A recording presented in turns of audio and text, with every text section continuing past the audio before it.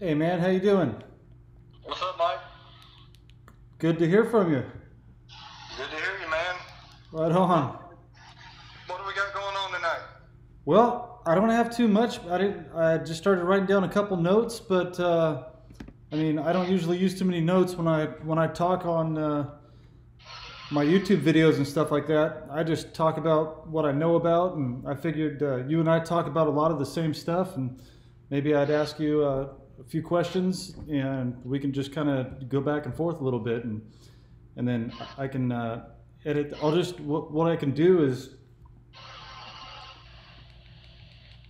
I can. Uh, you washing your? Sure. You You know, I mean, ask me anything you want. okay, sounds like you're washing your car. No. Oh, are you are you hearing all that uh, feedback on the phone? no, I don't hear anything. Huh. Okay. Uh, I don't just hear you. That's about it. Hey everybody, how you doing? This is not a live stream.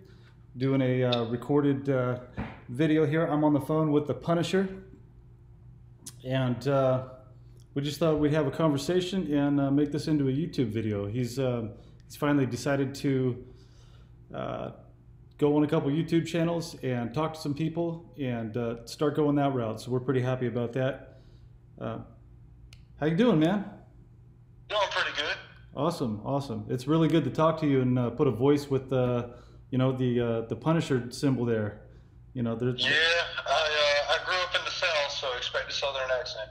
I, you know, hey, I'm used to it, man. I've actually lived in uh, lived in Nashville for two years when I was in high school, and uh, lived in Norman, Oklahoma before before I moved here to Arizona. So I'm definitely used to that that Southern accent. Actually, my friend that's uh, visiting right now, she's been here for about two months. Uh, she's on Twitter quite a bit. Uh, it's An- Andrea in the light. Uh, her screen or uh, her, what do you call it? The at symbol Andrea handle? Homegirl. Yeah, the handle. Thank you. Is Andrea Homegirl. But um, yeah, she helps me with a bunch of that stuff. But she's got a little bit of a, a Tennessee accent. She, you can't hear it too much, but um, comes off every once in a while. Kind of makes me miss Tennessee. I hear you. So yeah, yeah. No, it's it's it's good in the South. There's a lot of good people. It's a little bit slower pace. Oh yeah, man, I love it. It's like it's nothing like these stupid ass big cities. Like it's, I, I- don't even know how people live in those. Well, I'll tell you what, man. I was born and raised in California. I was born in Lancaster, California, then went to Valencia, California, and then ended up in Fresno. And uh, so I've spent, uh, yeah, no, I've, I've spent a lot of time in, um, you know, in Los Angeles and San Francisco. I've been all over that state, and I watched it slowly disintegrate to the ground. and get and well I, I wasn't i didn't stick around that long uh, i left about let's see i'd say about eight years ago now. Been here in, in arizona just about six years and i was in oklahoma for two years.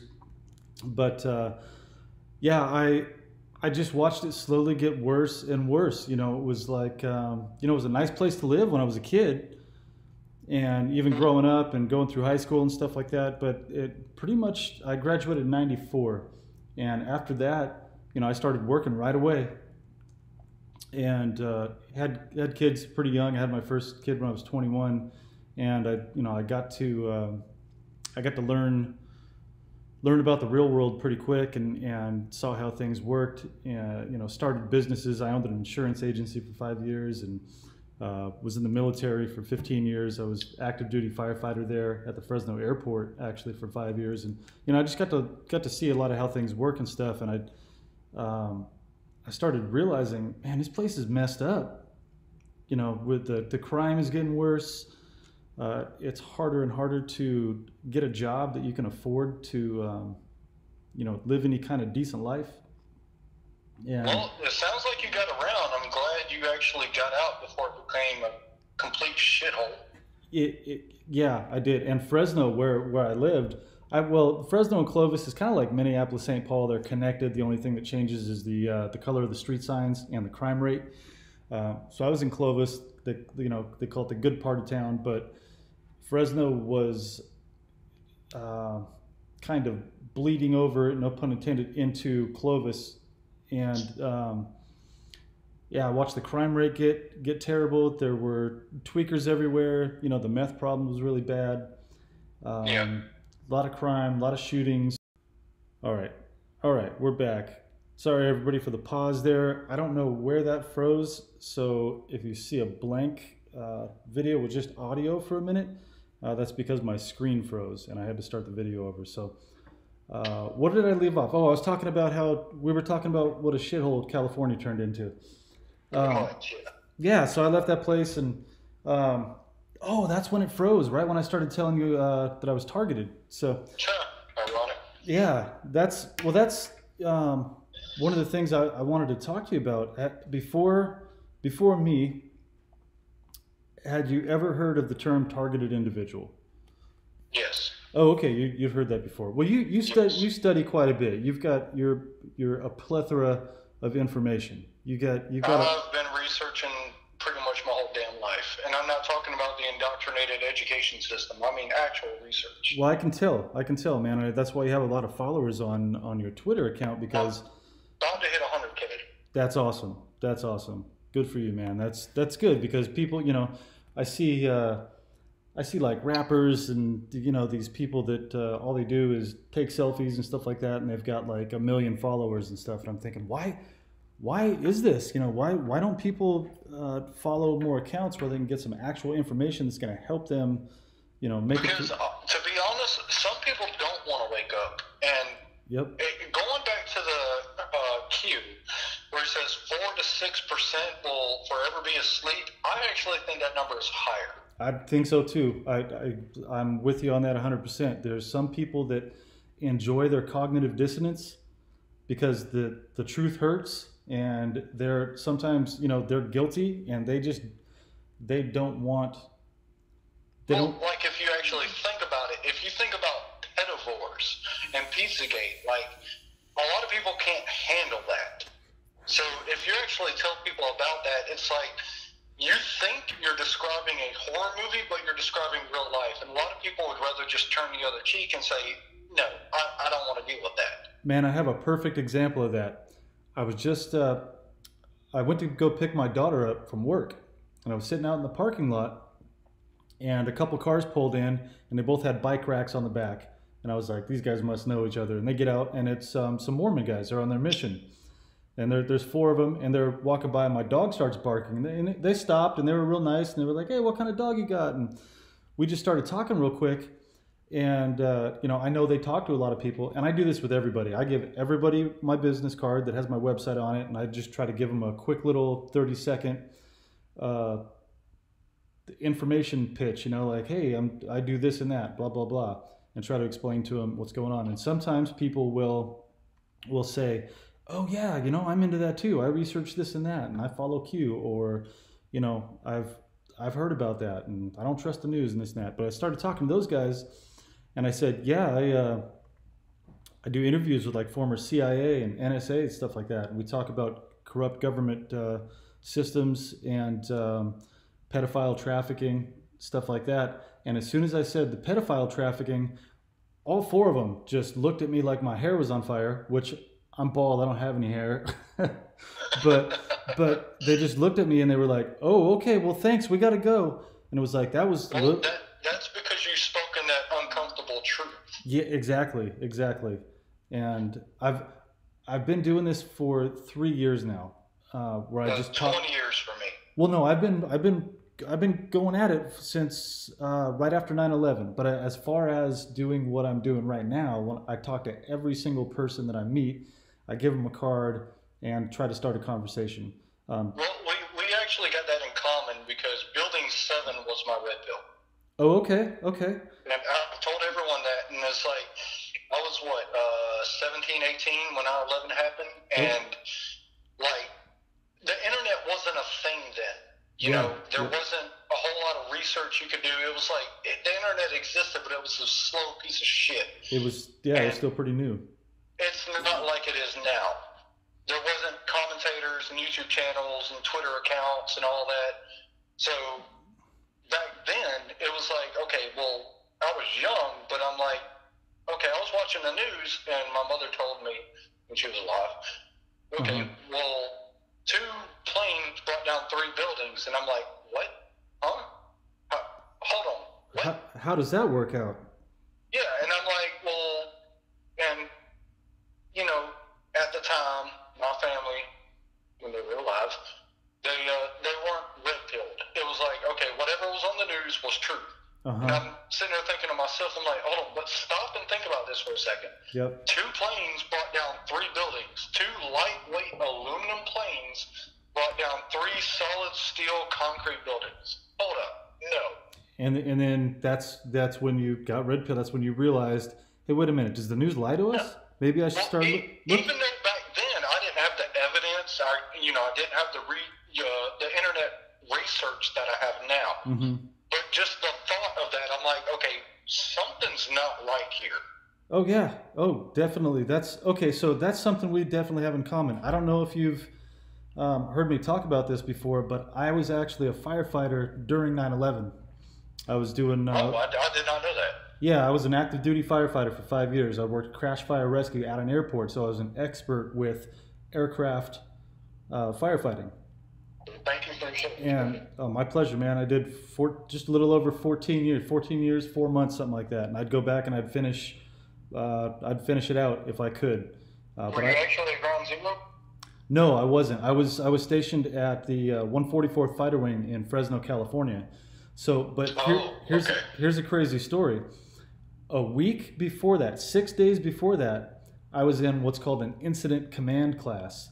And incident command is when like the um, the chief of police, the, uh, the fire chief uh, from city, county, and our base fire chief, uh, like the mayor, um, everybody that would get together and work together in a large casual, uh, large sized uh, mass casualty incident would get together and, and communicate. So we were doing this training for incident command, and uh, we went through the class, and you know we learned how to communicate. We, we switched all of our radio. We figured out how to get all of our radios to communicate with each other and uh, different uh, on the same channel. You know, if something like that happened, uh, just standard operating procedures that we would carry out if uh, something like that happened.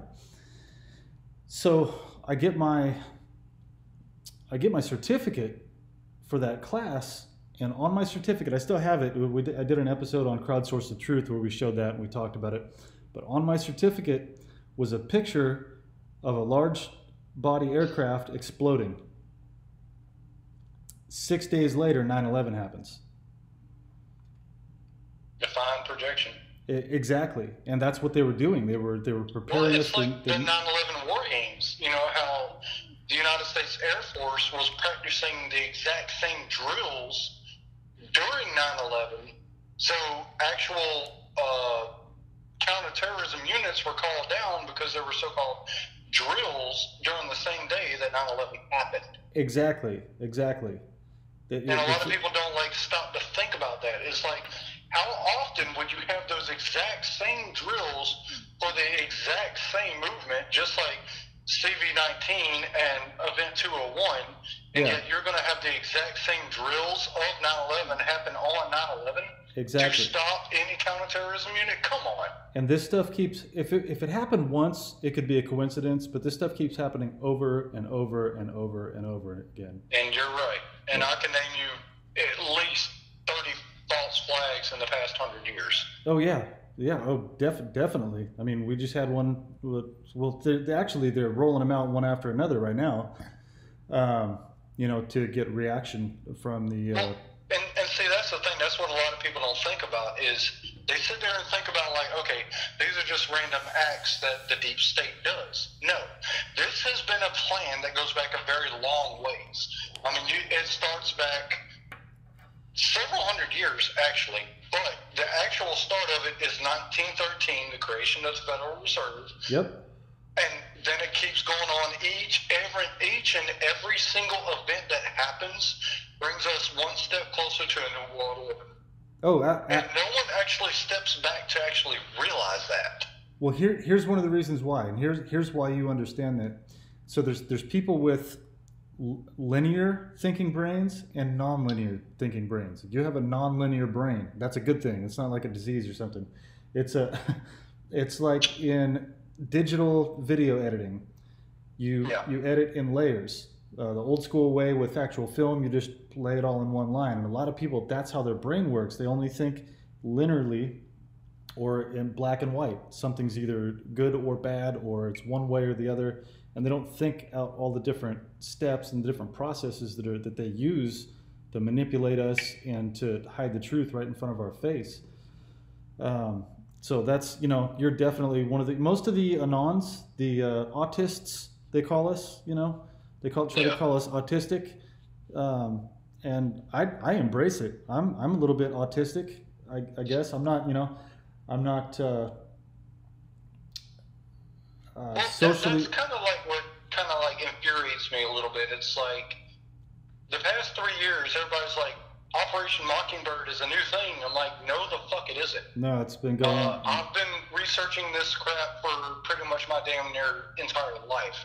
Yeah. It's not nothing new just because Q come along. I'm sorry, it's been out there, and if you actually are willing to do the research, then you can find it. Oh, absolutely. And it takes a lot of time and effort, and a lot of people aren't willing to put the time and effort into it.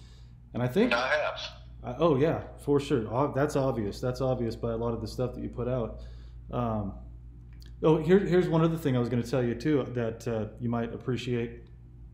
So when you talked about when you got red pilled and you saw you know 9/11 happen on on TV, so a guy named uh, well let's see I forget his name actually, but he owned a company called Pelco. It's a surveillance company in Fresno, and it was stationed right there by the airport, their corporate office. That guy that guy flew two charter charter jets full of firefighters out to Fresno that survived the 9/11 attacks. So 300 and something of the firefighters, a few few cops, um, but he flew them out and threw them a huge party. He rented one of the hangars at the airport, had an Elvis impersonator, had everybody come up to his house. Um, you know, they had a parade and all that stuff. Well, when those guys flew in, I was out on the uh, on the runway with my crash truck. Ned Ferguson was another firefighter. He was on the other side of the runway with the crash truck, and we shot water over the top of their jets to welcome them in. And then they- came to our station, rode around in our trucks with us. We traded patches, uh, traded T-shirts, stuff like that. And I got to have personal conversations with these guys. And uh, when they were they were talking to us, you know, they were talking about things that were happening, and I was listening to them go, why, why am I not hearing any of this on the news? Why, why is what the news is telling us completely different from what these guys are telling us in personal conversations in our, Exactly. in our station? And that's when I woke up. That's when I, that's when I thought to myself, do we get lied to?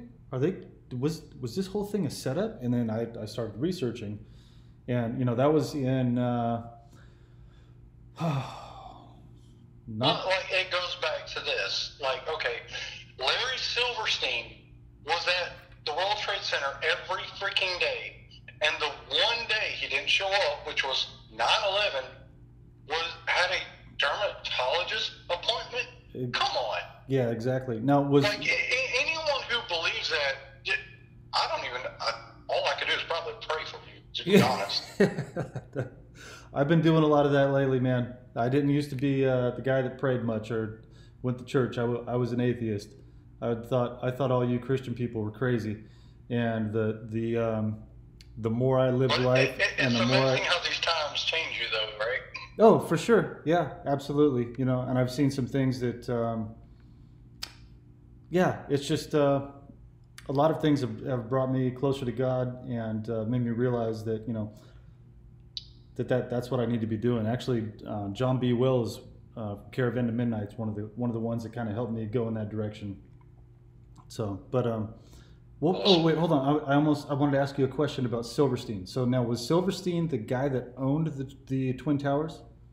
Y- yes, he's the one that actually signed the insurance That's for what. them. It was for, uh, I think it was four billion, and he had to go through 23 different banks in order to get the total, total settlement, okay. which was about a year process. And uh, yeah, it, it was a it was a rough situation. But the thing is, it was only three weeks before 9/11 where he re-signed the uh, insurance for the Twin Towers. Exactly, and do you know what he? That's one of the things I wanted to that uh, to ask you about if you knew about this, uh, and Yeah. you obviously do. But do you know why he re-signed the insurance? I I, Yeah. I owned an insurance agency for, for almost five years, Farmers Insurance Agency. I was an agent. Had my I, I've got a, uh, uh, I've got one of the threads on my Twitter. I'll try to send it to you, but it shows every insurance agency that was involved, And every damn one of them is here's why he, here's why he changed it and this is one of the things that, that i learned just from working at an insurance agency when i heard they updated the policy a normal commercial insurance policy will not pay out if the loss is because an act of an act of war yes. So I, that- I do know that. that attack was considered an act of war. He knew that it wouldn't pay out in that instance, so he went in and he added a rider to the policy to to make sure that it would be covered uh, in case of an act of war. And that right there is a smoking gun. That that whole just that alone, just Well, not even not even that, but if you look at the insider trading, uh huh. the stocks from American Airlines, uh, like the people that cashed in on puts, you know what puts are, right? What what what are? Puts. No. Or stocks against a company that's going to fail. Which means basically, if you know American Airlines is going to fail, Uh-huh. and you put puts against it, then you can you can get severe revenue from that through stocks That's and insider trading. that's new information to me. That's one thing I have I have no. Yeah, insider trading is a big thing when when 9/11 comes to play because there's been people that's cashed in 300,000 shares on American Airlines, like literally days before it happened. You can't tell me that's a coincidence. That's like saying, okay, you're going to go to Wall Street right now and you're going to give 300,000 shares to a company that you may think is going to go under. No, you're not going to do that. You're going to do a couple thousand maybe, Yeah, but but you're not going to you dump do it it all. to that extent, Yep. that that's what you call insider trading. That means you know something. Yep. And it was way more than one individual that did this. It was 1,200 people that did this. Wow. Wow. So you're telling me that this wasn't known by somebody? Bullshit. So I wonder how long it's going to be, or if ever, until we see those people convicted. Well, that's another question. Is everybody's hiding behind the curtain of they didn't know, but we don't know what's going to come of that because something may or something may not happen. I, I'm the hoping. sheer evidence, like if, if you own three hundred thousand shares in a company and you trade them all in at once, that to me should be one hundred percent proof right there that you know something was going to happen, especially when you trade them in like literally three or four days before the event happens. Yeah, it's like they're not even trying to hide it. No, because they weren't expecting to get caught. So I wonder. But Oh, you, you know what caught them though? The internet. yeah. Oh the yeah. information on the internet is what sorry to say this but it's what fucked them now i don't know if they'll be held accountable or not but they are caught yes I'm hoping that a lot of those people are some of the ones in these indictments that we keep hearing about that are up to like what 170,000 now. yes 170,000 indictments. One of the one of the things I learned about those indictments is that each indictment there's a possibility of up to 99 people on each indictment. uh, kind of yes and no not not to that extreme it's it's more like 12 Oh, really? yes Okay. now the thing is is one indictment can lead to 12 arrests Okay. Beyond that, you go through a group indictment. Um, but as far as like 9/11 goes, like if anything, and I've researched this for a long time. If you follow my Twitter at all, the the three biggest players in 9/11 by far more than any is George Bush, Dick Cheney, and Larry Silverstein. Yeah, If anybody thinks anything different, then you haven't been paying attention. yeah, Cheney's a big one that I never hear anybody talk about. Oh, I've talked about him. No, I, You I'm, know well yeah, absolutely, but I, that's one of the names that it's like it, it seems like people are afraid to talk about Cheney. Well, if anything, Dick Cheney is actually pulling the strings of George Bush, which, you know, Dick Cheney, he, he's in the CFR, he's in the Bilderberg, he's in the Trilateral. Like, he's biggest deep state like you could think of. He was basically the president, and and Bush was his vice president, but it did. It, Uh, Basically, yes, yes. Okay. And that, that's a very good way of putting it. yeah, so he was just hiding behind the uh, the president, saying, "Oh, I'm just the vice president. I, you know, I'm, I don't do much." Well, even though, even though Bush uh, Jr. he did go to Yale, he's you know part of Skull Skull and Bones. and all that. We all know about the balls getting tied up and all the stuff he had to do. You've been in the truth movement for a while, but Oh yeah, Dick Cheney, he like he's in with the Rothschilds. He's involved with the Vatican. okay. Like this dude is as deep state as they come. He's been to Bohemian Grove. Now I've just kind of put a connection together recently. I that I think uh, George Soros is actually controlled by the Rothschilds too. George Soros is a Rothschild. He is a Rothschild. Yes. Okay, that's interesting. Because I've been, I've And he's been. also related to Hitler too. Okay, that makes perfect sense. I don't know if you've seen. Sorry, I, I, sorry, I've been studying Don't, this don't shit for a long man, time. don't be sorry if you're telling me something I haven't learned yet. I mean, that's that's awesome. I, I've, I mean, I don't know it all, but I've learned quite a bit, and you've already told me a few things that I had no idea about. So that's Well, I,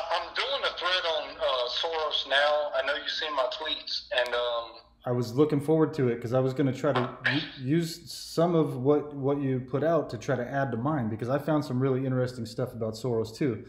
Um, the thing is, I'm getting a ton of DMs saying like, okay, why is it not out yet? You know, Oh. like well, how far along is it? It's like, dude, I'm sitting on like three notebooks full of information, 26 videos, yeah, and like 32 article links.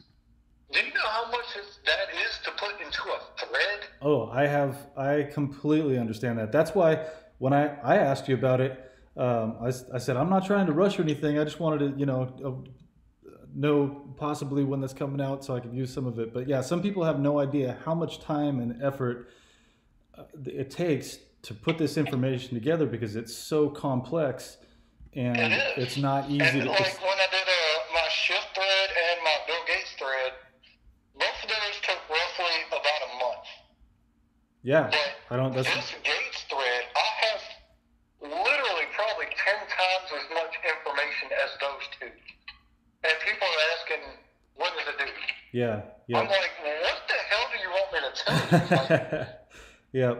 So, I mean, right. It, this, I mean, it, I'm going to obviously have to consolidate it because if I put everything I have out now, it will be 10 full length, 25 tweet threads Oh yeah, with, Yeah. with what I easily. by the time someone gets through thread three, they're just going to get burnt out and just give up. Yeah, that's a lot. That's uh, the uh, attention span, and it's not completely our fault. It's uh, the way we were taught in the indoctrination centers that they call schools. Uh, Yes. we have we and the uh, the programming on the television. It uh, taught us to you know pay attention for about thirty seconds at a time and then go do something else. And so a lot of people have a really short, really short attention span. But that's going to have to change if people want to survive this whole thing. They're going to need to learn to pay attention. And I mean, I, I understand the urgency. I understand people want it out, and it Oh, yeah. needs to be out quick. And I understand that because of all the situations that's going on with Antifa and BLM. And I've sent stuff to Project Veritas, Yeah. and some of the stuff they've actually released. Yep. And but what a lot of people don't understand is like, damn, I got a personal life too. Oh and yeah, when I yeah. have this much information on a desk Yep. or a phone, like, yeah, No, I I, can't just put this all into one little thread overnight, and I'm getting hell over it. It's like, when is your Soros thread? You give up? Oh, you lied about it. Well, no. now now remember this: some of those people that are that are messaging you and hassling you aren't actual anons or actual uh, truthers. They're people that are paid agitators, and I can almost guarantee you that that they're just sending you messages to try to discourage you or to to irritate you. Because oh I, no, like at least what eighteen the past week. Yeah. Oh yeah. No, they're they're. I've lived with them. I mean, as a full blown targeted individual, I get it in every aspect of my life, in social media, through my business, um, in in person, in stores, on the road. Um, you, you said you, you, are familiar with the term. You've probably researched it a little bit, um, but it's it's um, you know it's basically what I go through is what the the people in um, that were the victims of the East German Stasi police. We have that going on in the United States right now. Yes, and it, and it has to do with. And, with actually, going back to that is I can actually remind everybody, okay, if you think we won World War II, you're wrong. The war never ended. The war is still going on. It just it's not in the well, it's kind of in the physical sense, but it's it really never ended. They basically just came over here and just infiltrated us under Operation Paperclip. Yeah, I've got the Q map on my wall right here, and that's the right in the center of the map. The uh, what is OSS turned into the CIA.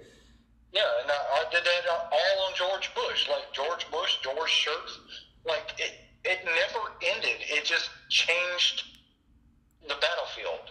Yes, and it turned from physical to political. That's all it did. And and and weaponized systems against our people. So all of these different systems that we have been paying taxes into for years and years and years, they build up these systems as weapons used against us instead of something that's supposed to help us. Like well, that, that's how the elite has gotten so powerful because we actually paid them to do it to us. Exactly, exactly. That's why I stopped paying taxes. I haven't paid taxes for three years. I said, "Fuck it." If they're going to use uh, my money to destroy my life and and take away everything in my life and psychologically attack me, I'm not paying anymore. Well, that and I was broke. It was either pay the bills and uh, fill the refrigerator or pay the taxes. And I wasn't about to become homeless by giving them a bunch of back tax money um, to, you know, keep attacking me. So yeah, I, you'd be surprised how many like people out there that are intimidated by that because they're just like, okay, well, if I don't pay taxes, I'm going to go to jail. Well, if you're paying taxes, you're actually like helping them at the same time. Yeah, and if everybody quit at the same time, it, it would. There's no way that they could collect from everybody. But you know, they'll they'd say they'll send people with guns to your house, and uh, you know, I got to the point where I was like, yeah, fine, send them. I'm not. I'm not. I'm not your slave anymore. I'm not going to do this. Um, so hopefully yeah. that'll actually uh, end sometime. I don't know. Who knows? Well, uh, I actually did a thread on the Federal Reserve, mm-hmm. um, and I honestly think that, and a lot of people say this is the enemy, that's the enemy. Me, the biggest enemies right now is number one, the mainstream media. Number two, the Federal Reserve. That's my opinion. Okay, I think it's I, I I agree with you on that, but I think it's all encompassing. I think they've infiltrated so many different organizations and groups that it's it's like a uh, infestation, like uh, like in an organism, like a cancer that's yeah. spread, and it's in so many different. No, no, you're, you're absolutely right. They've infiltrated everything, and I was on uh, Thomas with True Reporting, mm-hmm. and I said the other night they've infiltrated damn near every government, and they have. So let's. That's, as far as the biggest battles we got right now in this country, it's the mainstream media and the Federal Reserve. Until we get rid of those, I don't really see anything changing. Yeah, yeah, I I see the mainstream media hurting. I know a, lot of people that I talk to, they don't trust anything that's on the news. I tell them don't listen to the news. They're owned by six major corporations, and they all get their narratives from the Tavistock Institute, which is in London, England. Why would we be getting our uh, why would they be filtering information into news outlets from London, England, for here in the United States. Well, did you know the Jesuits of the Order actually infiltrated and started Operation Mockingbird in 1947? I did not know that, and I should because I have uh, the uh, the cult of Ball map on my on my wall over here next to the Q map, and I refer to them all the time. So I should I should have known that, but no, I didn't. Like I said, I look into this stuff a lot. Yeah, it goes it goes way back. It goes way back. So, okay, so since we're talking about how almost everything has been infiltrated, here's one of the things that that has affected me personally in my life and that I've gone through uh, day after day after day after day of research. And one of the things that a lot of people don't seem to to want to either believe or admit is that our intelligence agencies were infiltrated, and George Soros, who's paying Antifa and Black Lives Matter, and has has used those as a weapon for reaction and division, race baiting, um, chaos Well, in our his lives. actual intention was invading the youth community and actually changing their opinion, like through diversity, and that's why he chose Black Lives Matter and Antifa. Yeah. Oh yeah. Yeah. But he also. It, it, it, he couldn't really just infiltrate the country and say, okay, turn against conservatives, because that wouldn't have happened. But, but if you go towards the youth, and you Mhm. know, George Soros is actually, he's actually been, he's funded the beginning of our education system. Now, I can't go into too much about that, that'll be in my thread. Okay. Okay. That's no problem. The U.S. education system has been funded in part by George Soros. Yeah. Yep. I've actually heard somebody talking about that a couple days ago. Well, I got proof about it, and I'm, I'm trying to get the Soros thread out and everything. Okay, good. Be looking forward to seeing that. So here's one of the things that he did that um, a lot of people don't realize. So so we were just talking about 9/11, and after 9/11, what happened? The Patriot Act was enacted, and it took away all of our uh, Fourth Amendment Which rights. Anything but patriotic. Exactly. Well, it's see, it's one of those things where they mock us, and they they called it the Patriot Act, as if it were enabling patriots. But what they used it for was to target patriots. So exactly, and and that's what I go back to. Is like refer- referring to not just Democrats or RINOs, but the deep state in general. It's it's kind of referred to back as vampirism. Okay, now what do you do with vampires? You have to accept them into your house, right? hmm And that's what politics does with the elite and the deep state. They tell you things with certain wordage that you believe and accept it because they sugarcoat it so much to the point where you don't even actually know what you're reading or believing in. yeah, they'll do it in riddles or uh, you know put yeah, it put it. they, they try to get you to accept it. It's like, well, stand up for patriotism when you don't even realize that that's taking away your rights. But Yep. they word it like that on purpose just to manipulate you. Exactly, exactly. And then they created the Department of Homeland Security, which everybody thinks, oh, that's for our security. But then when No, I- it's not. it's not at all. When I looked into it more, when I started researching what the hell was going on in my life, um, Karen Melton Stewart, she worked for the NSA for 28 years. She was an analyst, uh, linguist, sp- speaks several different languages, and she's actually the first person that I found on the internet that was describing what a targeted individual was. And she was explaining what, what happens in her life, and I was like, whatever's happening to her, that's exactly what's happening to me. And Yeah, I heard the same thing from Sergeant Richard Myers. Like he said, basically, uh, the Department of Homeland Security is basically a spying device. Yeah. So h- listen to this. Who do you think they consulted when they create? Did you, or maybe I, you got that that uh, message I sent you on on Twitter? But here, I'll just I'll just read it. So the Department of Homeland Security. This is this is a a, uh, a flyer that Karen Stewart wrote. She and like I said, she actually worked for the NSA. It says, "Why did the U.S. federal government consult Markus Wolf, former communist East German secret police official, as well as I can't even pronounce this guy's name, Yevgenij Primakov, former Soviet. Oh, that uh, Ukrainian name? Uh, it's he was a former Soviet Union KGB official. Oh, Soviet. Okay. So we had an East German Stasi police official and a KGB, Soviet Union KB, KGB official were consulted when the Department of Homeland Secure of Department of Homeland Security was created. So those guys basically helped the United States create America's Stasi police. And And what, what, what did I just say? Operation.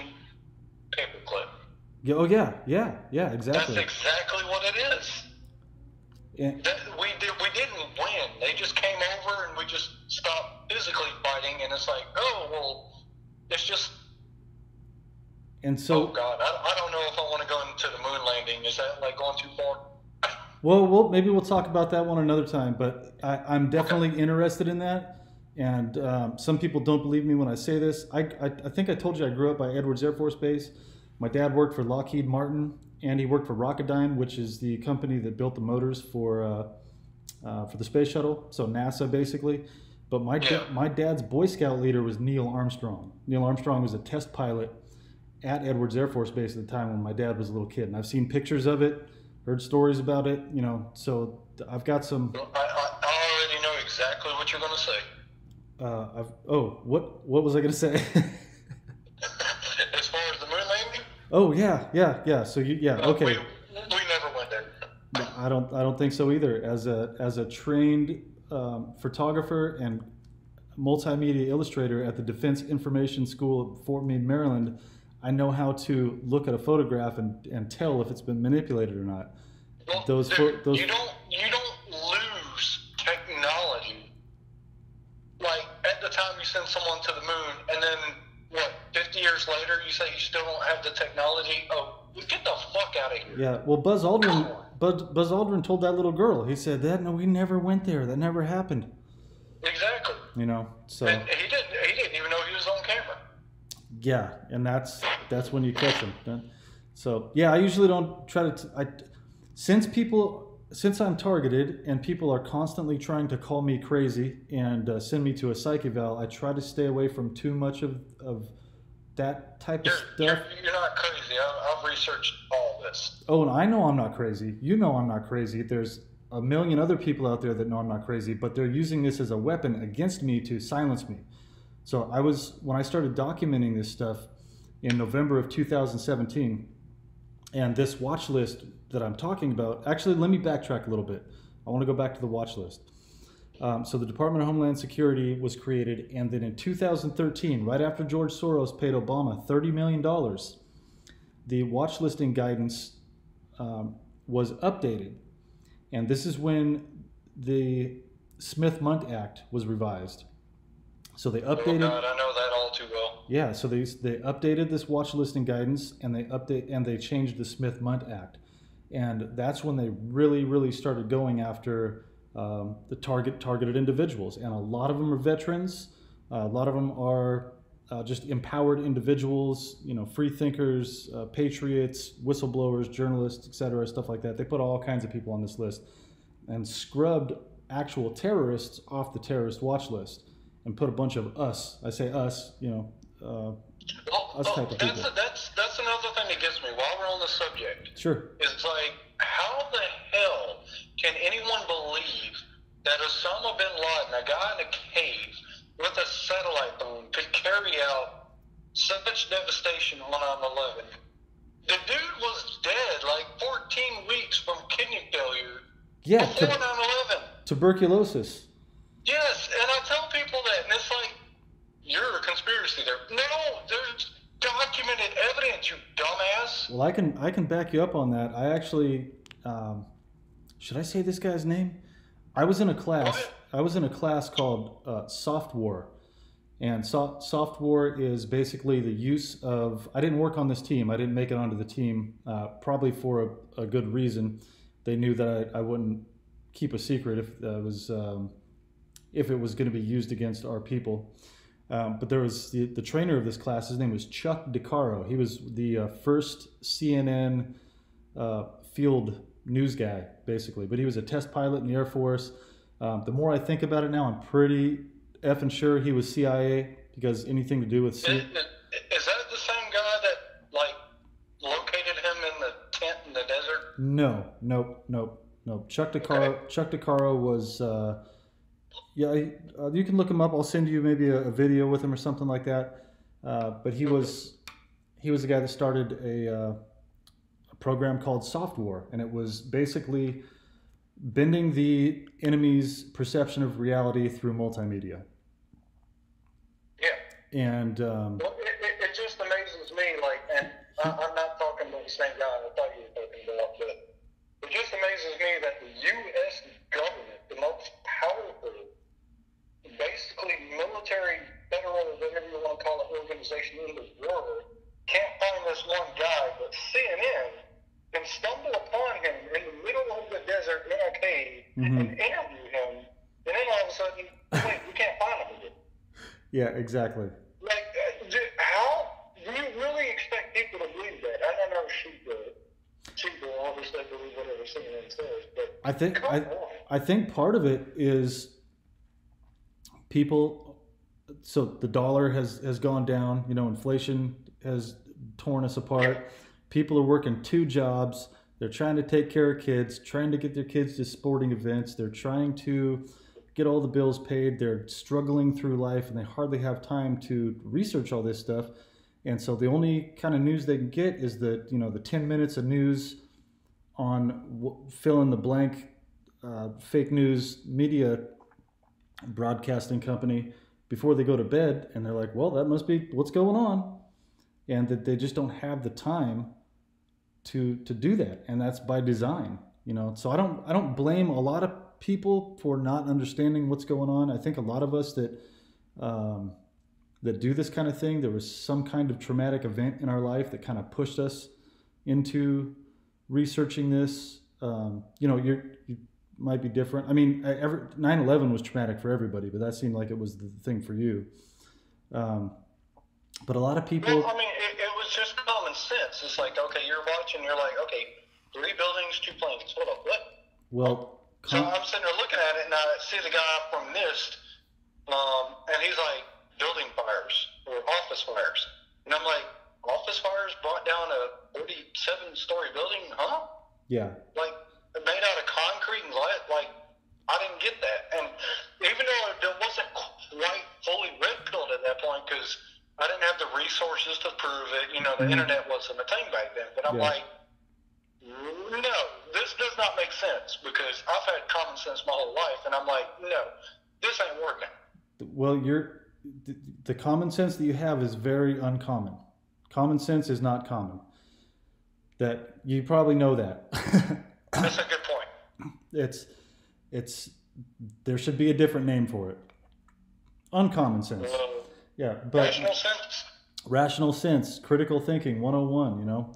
Um, but a lot of a lot of people don't do that. So that's why well, that's why it's good that there's people like you that will take the time and research and put the information out there and talk to people like me and we can do this and people can listen to these videos like a lot of people when you like when you put your stuff out it's it takes some reading and some maybe some research to go along with it and some people just don't read they'll only listen to videos or listen to Well, a lot of a, a lot of people give me crap because my threads take so long to put out, but it's like there's no short way to do this because like when I put them out, they get six, seven thousand retweets. So obviously it must be worth it.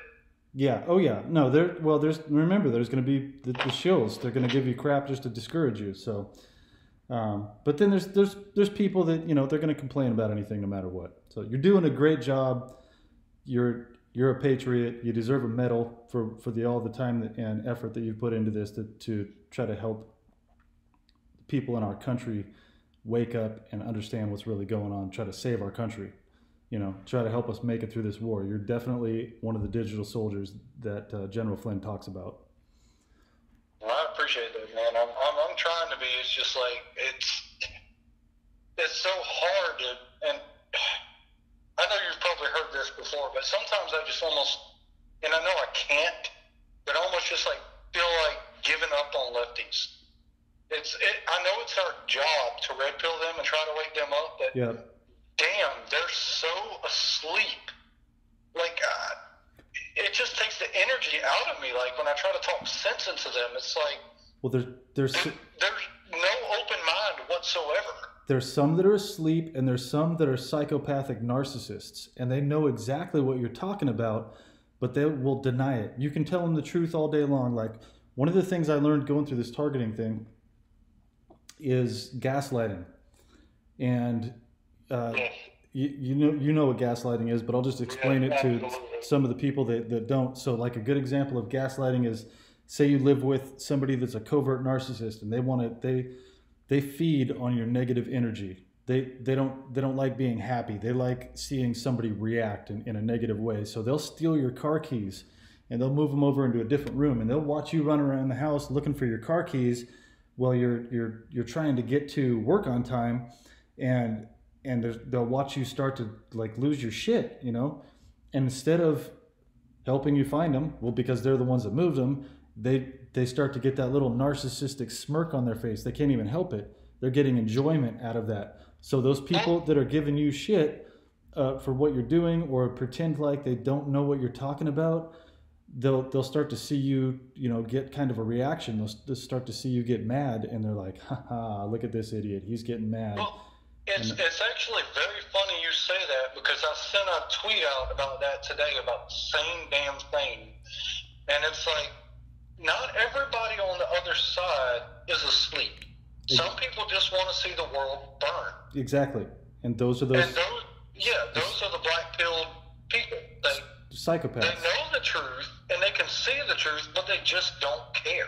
Yeah, they don't care or they they are afraid to get caught. You know, like the like the the news. You know, like these politicians, they will just lie to your face. Uh, you know, like the the Brian Stelter, that guy, guaranteed that guy's a, a at least a sociopathic narcissist, probably a psychopath, probably hurt animals when he was a little kid. Um, probably eats babies at night. yeah, I mean, like ridiculous stuff that a lot of people wouldn't even believe. But those are the kind of people when you call them out for, uh, you know, the adrenochrome stuff or whatever, they'll say, "Oh, you're one of those crazy conspiracy theorists." Not because they don't they don't get you it. You know what's funny though? What's that? It, I, I just said eats babies at night. Okay. Now, four years ago, if I said that, you would probably look at me stupid. But how? When I say it now, what do you think? Oh, I okay, this this guy's probably legit. Oh, absolutely. F- four, five years ago, a lot of people tell that a lot of the stuff that comes out of my mouth, I would have called me crazy for. I would have been, I would have been like, "What's this guy thinking? Who's who does he think these people do this stuff?" You know, like I, I would have been one of those people that just I had an ego and I was uninformed and I thought I was cool, so I just you know I just blow it off like, oh, these people are you know ridiculous conspiracy theorists, blah blah blah.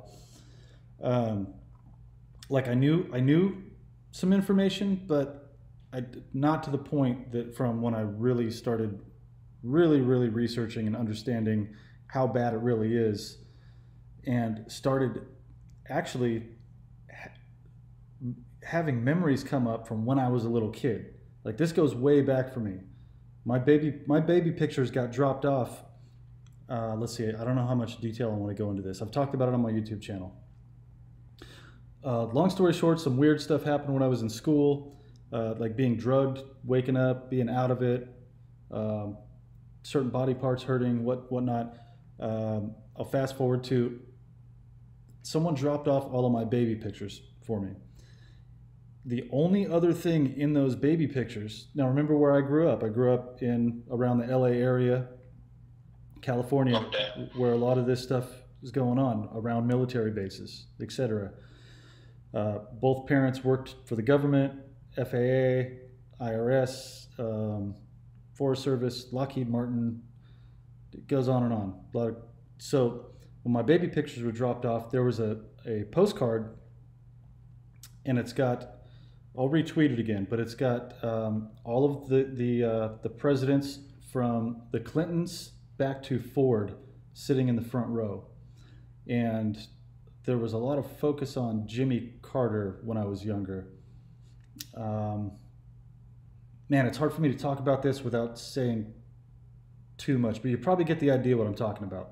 No, no, I get it. And if you don't want to say too much, that's fine.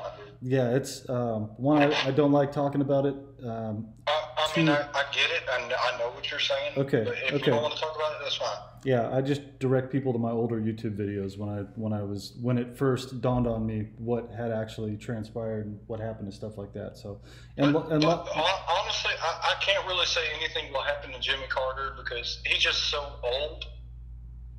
Like, what can you actually do? well, this is in the '80s.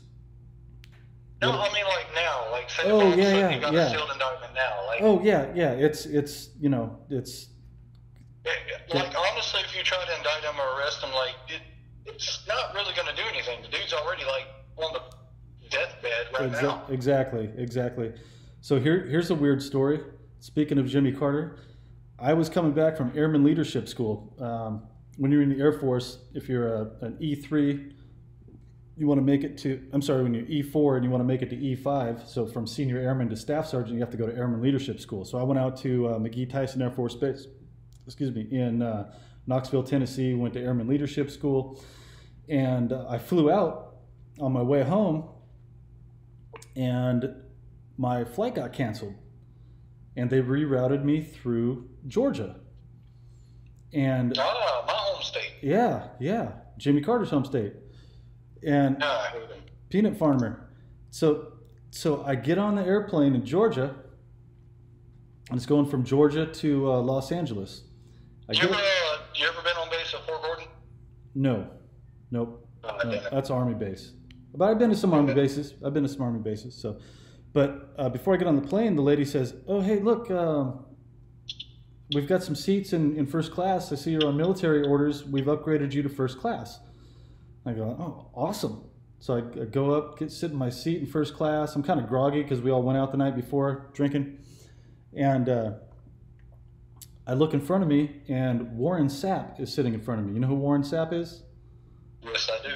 Okay, so Warren Sapp sitting there with a little girl. I'm, I'm presuming it's his daughter. And then next to him across the aisle is like this secret Secret Service guy with a little curly cue in his ear.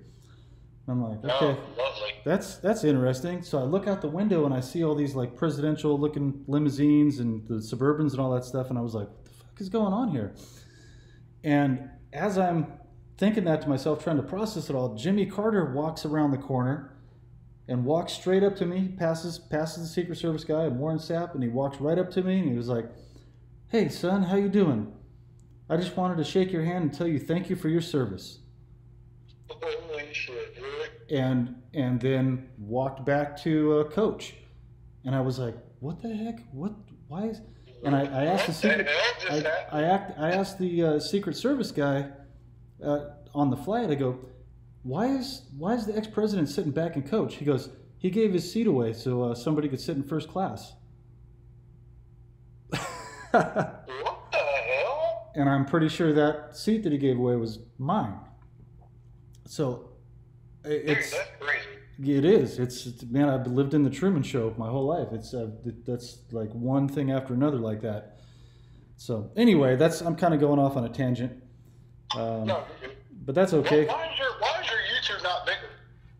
Uh, I'm pretty sure it's censored, and when you're a targeted individual, it's hard to um, get a. It's hard. It's hard to get a. Well, let's see.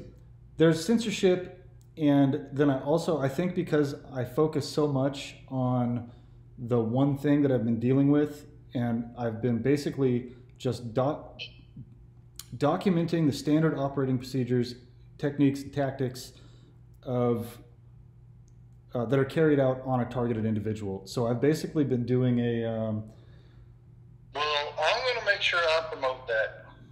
So I'm going to try to get you some more uh, some more subs. I appreciate it, man, because the, the my main goal, my mission in in life, you know, the reason I I think God put me here is to help other targeted individuals. I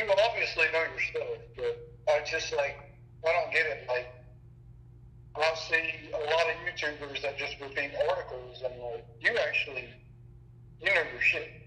Well, thank you. I've I've put a lot of time and effort into it, and I've I've been, you know, this is my first rodeo. I've been I've been through a lot of stuff in my life, and uh, That I can agree with. Yes, I've I've.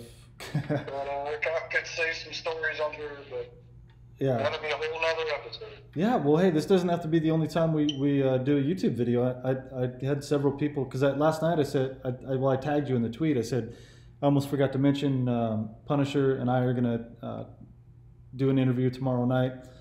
Uh, just thought I'd let you guys know or something like that. And a lot of people were like, "Hey, that's an awesome, that's an awesome interview right there. Looking forward to seeing that." And so, And you know what? If you don't want to call me that, you can call me Red. okay, A lot of my a lot of my friends call me Red just because to take away from I guess the cliche. yeah, yeah, no, well, that's cool. I mean, uh, you got a name, you got a nickname, so. Um, Well, my my real name is Jesse, oh, okay, okay. but a, a lot of people I don't even know where it came from. Just a lot of people associate me with Red. Well, do you, do you have red hair or anything, or? No, I mean I'm Apache. I got black hair, dark skin. Okay, okay. But I guess red kind of matches the uh, Native American heritage. Okay, okay. All right, red it is I mean, when we talk on the phone. it, it- it's kind of half and half. It's either like red or puncture. And like, honestly, I, I kind of prefer red because it's a little bit more down to earth.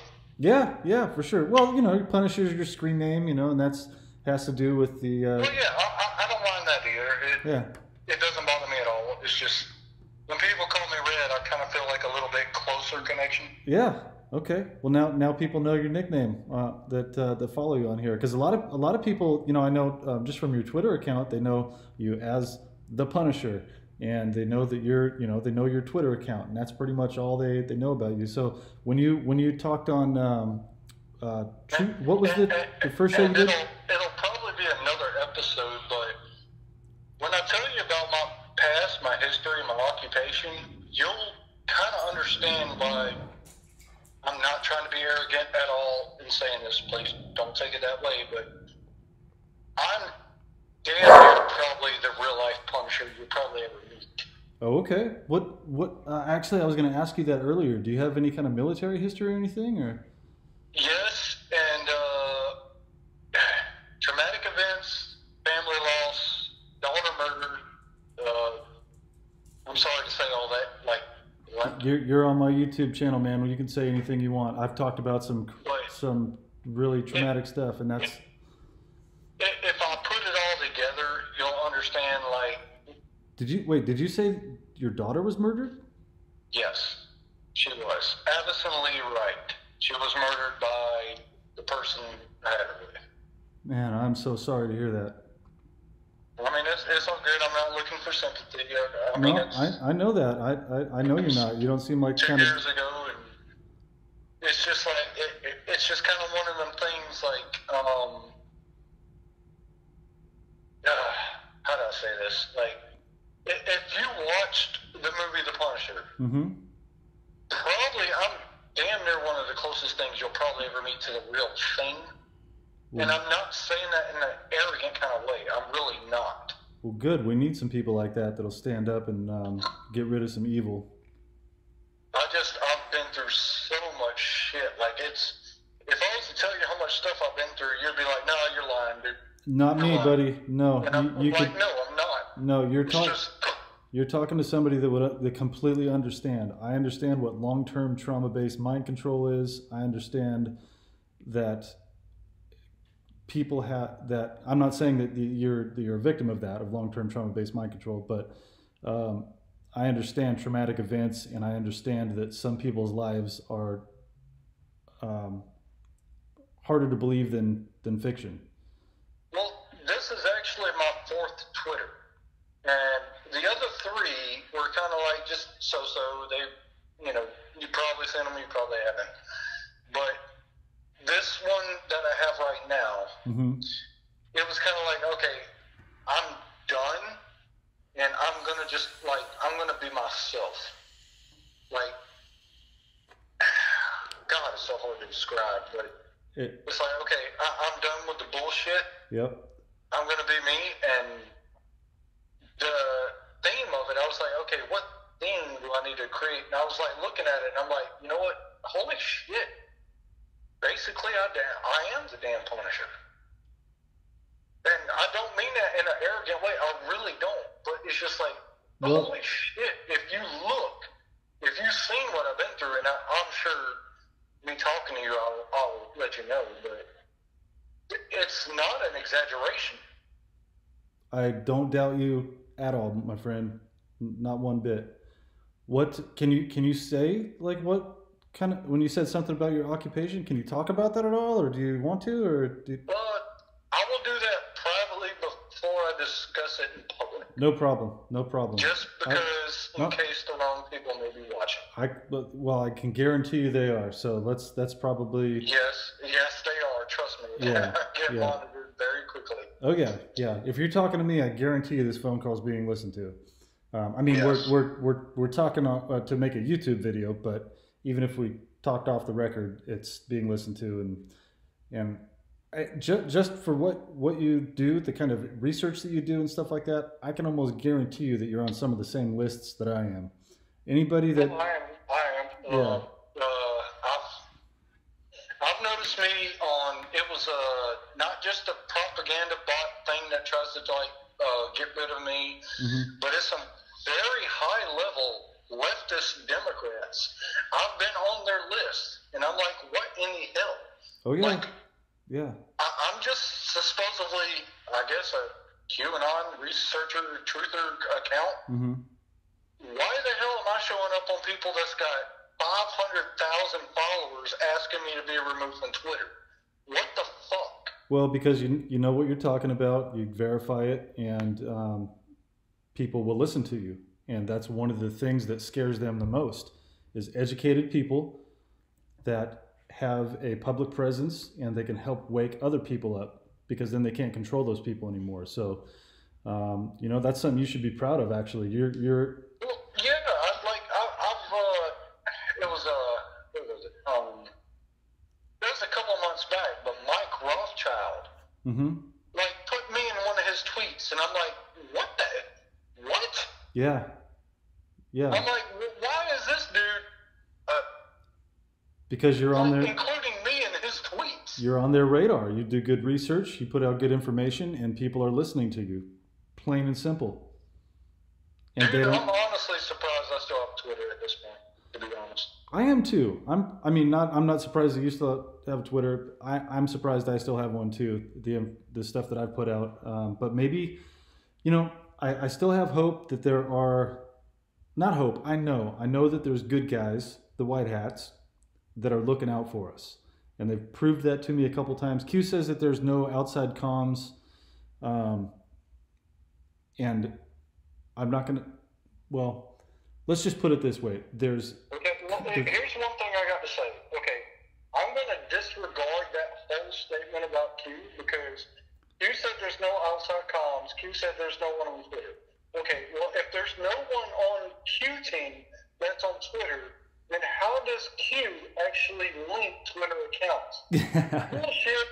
yeah, yeah. I actually, I think that I. But, um, sheet number, sorry. But, No, um, yes, there is people on the Q team on Twitter. I don't care what Q says because you cannot link tweets to Q if you are not on Twitter. Exactly. That makes perfect sense. I think they use an algorithm to uh, to search Twitter and have a lot and kind of filter through a bunch of the information and stuff like that. And they also have uh, you know people individually that might be you know military sitting in cubicles reading through the tweets and stuff like that, and then you know find stuff and go, oh, hey, here's a good one. Let's use this. So, but when I when I what I'm talking about as far as when they say no outside comms, when when the, when these people the bad guys basically when they want when i do something positive and i get some information out i do a good interview like say i've done i did an interview with kevin shipp um, Yeah. you know who he is. Did did one did, did the one with karen karen stewart. Um, whenever i do something like that and i put that out immediately i get a reaction. And they have these really long drawn out almost unbelievable ways of communicating with me like literally through license plates through my social media through it's a series of events that will happen where they'll literally send me a message and there'll be covert death threats or um, telling me that something bad is going to happen in my life. Uh, they- they'll basically you know kind of like they do in the movies. They'll put something out in the movies and they're telling you it's like fair warning and Yeah. you have to figure it out or else you're the idiot basically. That's how they that's how they look at it. They'll do that to me in these ridiculous ways that you know like i'm sure there are people that are listening right now going really? They talk to you through license plates huh? Um, Well, I've gotten threats before where people are like, oh, okay, I'm going to come here, uh, I'm going to come to your home and kill you. oh I'm yeah. Like, do you really know where I'm at? i get that all i get that all the time Yeah, yeah, I I get that all the time. Unfortunately, these people do know where I live. I've had break-ins in my house. They'll come and uh, steal items out of my house, move things around, just like the Stasi police did. I've come into my house and my lamp has been uh, moved into the other room. Uh, magnets on my refrigerator are moved around. Items from my eBay store are missing, and then those items will sell, and then I can't ship them out to the uh, to the person. Lights will be turned. armed, right? What's that? You're armed, right? Uh, no, I'm not. No, I, I'm a I'm a You're big. not. Well, here I'll, I'll explain that to you. I'm a big Second Amendment advocate. I had a safe full of guns. Three weeks after, so so I'm not sure if you if you're if you're aware of this, but in these systems that I was talking about, where they infiltrated Department of Homeland Security, they put out standard operating procedures for police, fire, and EMS to take part in this organized stalking and harassment. Which Yes, I'm, I'm not anti-police. I'm not anti-fire department. I love firefighters. I was one for five years. They were my brothers. It's what woke me up about 9/11 because they killed a bunch of my brothers and sisters in an attack. It's how I got Yes, started doing this. So one of the police officers, and it's on my website. If you check out my website, um, I have a video of this of this going down. One of the police officers here in town was harassing me. She was gaslighting me in a store, and I stopped. Um, I turned my phone on and I started interviewing her in the store, and I caught her off guard. And I, I basically I asked her. I, I said, "Hey, do you know what targeted individuals are?" And she goes, "Yeah, I had one yesterday." you know, just really weird, fake laughing and stuff. And I said, "Really? Does that targeted individual know they're being investigated?"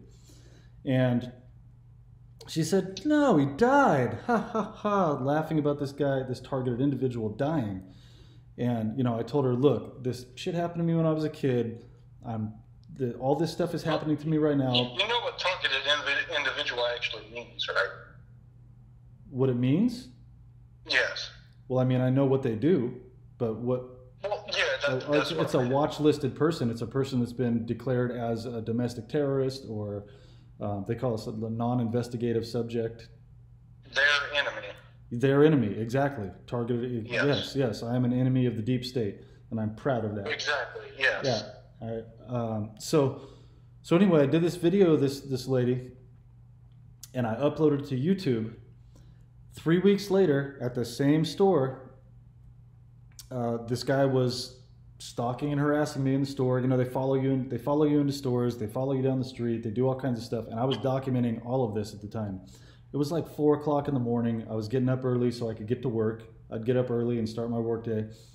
And um, this guy was fucking with me. And as I was pulling out, it's it's kind of a long story, but as I was pulling out of the the parking lot, um, I he backed out to block my to, to block me, and that's one of the things they do.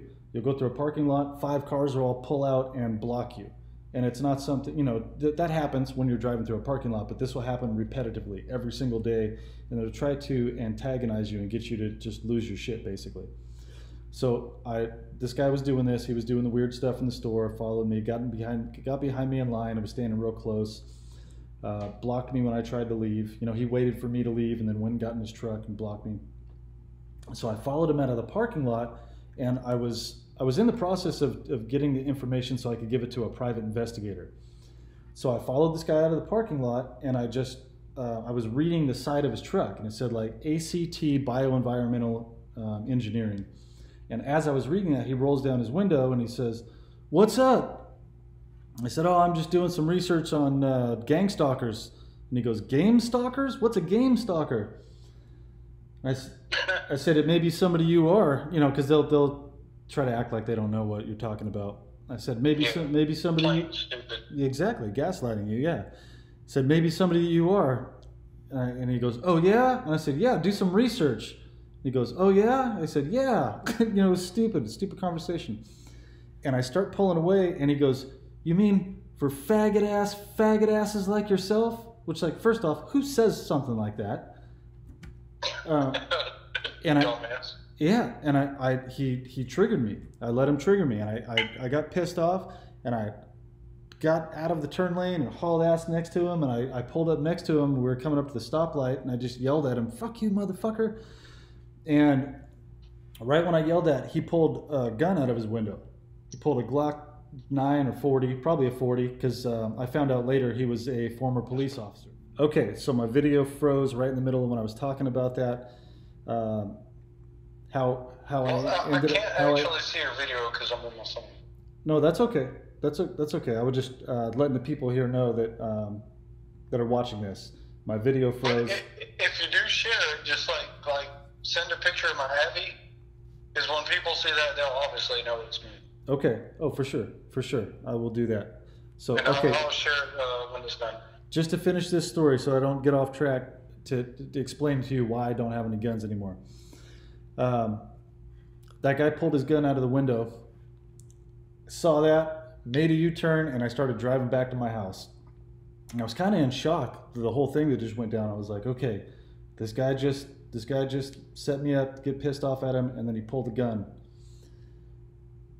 I dr- start driving back to my house, and I'm just about to my house, and I see this dude in my rearview mirror. And this is like a few blocks away where this whole thing went down. I see this guy in my rearview mirror, and he's in a construction type truck, and he turns on his rotator lights. You know how they've got the rotator lights on the construction trucks? Yeah. He turns those on like he's pulling me over. And I was like, oh shit. This guy just pulled a gun on me and then followed me to my house. Both of my kids are asleep upstairs. I don't want to pull into my garage, let this guy know where I live.